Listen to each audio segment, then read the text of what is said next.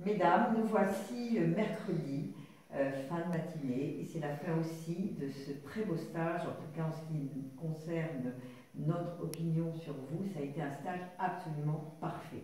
On a eu l'occasion de vous le dire, on a eu nos entretiens.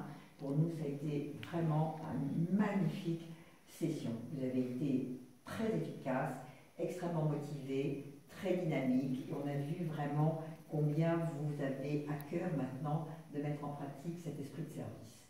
Donc pour nous, ça a été, euh, Madame Marceau, au service de Madame et moi-même, une joie de vous avoir et très dur de vous quitter. voilà, donc euh, s'il y en a une qui veut témoigner de quelque chose, de dire quelque chose, voilà, moi je suis très émue. Et puis euh, à vous, peut-être il y en a une qui veut le faire pour tout le monde, ou bien chacune dira un petit mot comme vous le souhaitez. Voilà, c'est à Madame de Val-Brochet, je vous remercie de votre accueil, de votre gentillesse à notre égard. Cette expérience a été pour moi, je me sens beaucoup plus forte. Ça a été très enrichissante, cette formation. Et je vous fais ma référence pour cette formation. Ah, c'est gentil, c'est très gentil, Dani. je vous fais ma référence de cette formation et j'ai beaucoup appris au service de madame.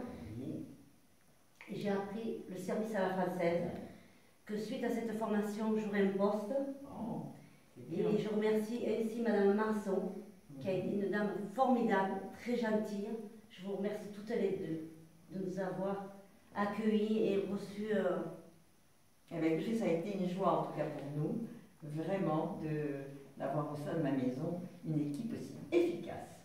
Voilà, donc merci encore. Merci d'être fait le porte-parole. C'est pas toujours facile de prendre euh, parole, mais je sais que chacune m'a témoigné, à Laurence Marceau et moi-même, vous avez déjà témoigné très largement la satisfaction que vous aviez de ce stage. Donc encore merci et on a encore voilà, quelques minutes à passer ensemble avant de nous quitter pour euh, pas longtemps j'espère. Nous